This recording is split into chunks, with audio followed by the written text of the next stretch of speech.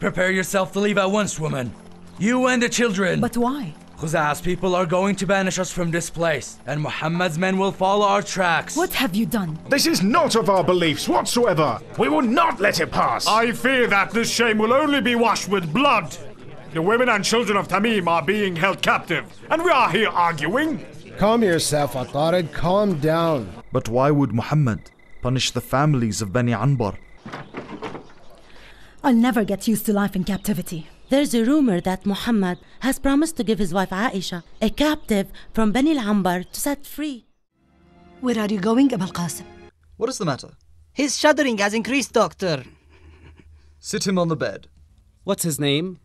Abul Qasim al-Zahrawi. What's the story with you guys and time? What's with you guys and time? Are you trying to be stupid? Woe to you. Woe to you and your triple action.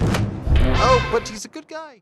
Back on the street. Took my time, took my chances. Hey there! Oh, we'll be in deep trouble. I wish they would come here so I could show them who they are messing with. Why the rush, Azzam? Don't you want to try my cooking? Ah! Oh, help me! Isn't she in her room? No, she's not there.